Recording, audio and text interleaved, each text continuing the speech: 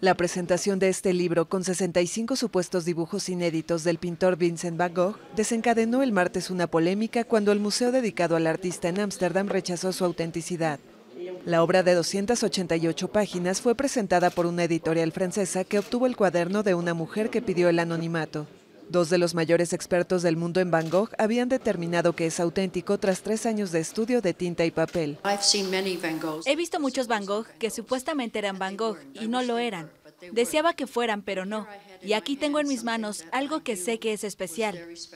Casi a la par de la presentación, el Museo de Van Gogh difundió un comunicado que afirmaba que los dibujos eran solo imitaciones. No tengo interés en esto, pero cuando sé que algo es un Van Gogh, sé que es un Van Gogh. En medio de la polémica, el editor de la obra aseguró que la duda era inevitable y que no es la primera vez que el Museo de Van Gogh se equivoca. El libro con los dibujos supuestamente hechos en Francia durante la estancia del artista al sur del país será lanzado el jueves y paralelamente llegará a Estados Unidos, Reino Unido, Alemania, Holanda y Japón.